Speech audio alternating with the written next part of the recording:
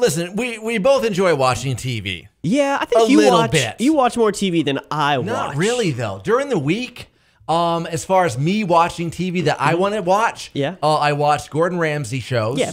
Um, and I watch usually uh Survivor on Wednesday nights. Okay. Um, which is like an hour a week, and then maybe more on the weekend. Okay, so you don't really sit down and watch television programs that you want to watch. You just watch it because it's on.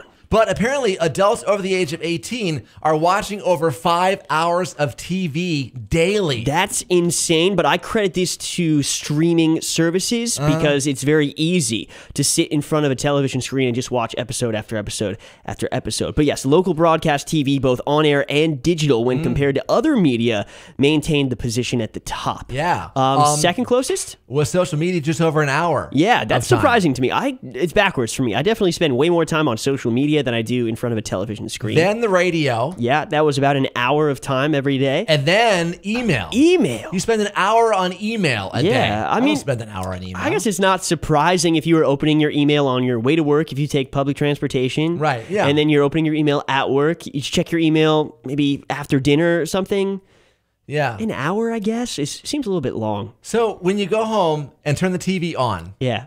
Hit Watch. a timer. Yeah. watch. Watch Time it. how long mm-hmm. that TV is on and how long you're actually spending in front of it watching TV. Yeah. More info on how much TV we actually watch right now. Yes FM Facebook, Twitter at 967 Yes FM, and the Emergency Morning page at yesfm.com.